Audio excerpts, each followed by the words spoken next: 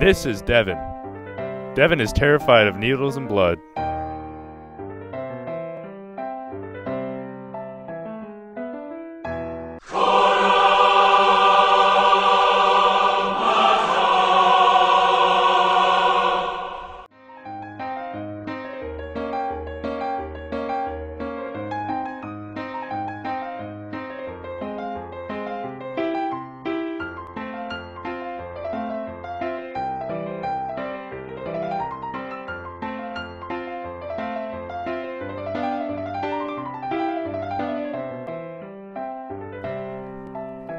At the Sehome Blood Drive on October 31st, 2012, all of the phlebotomists are expertly trained to take blood comfortably and safely.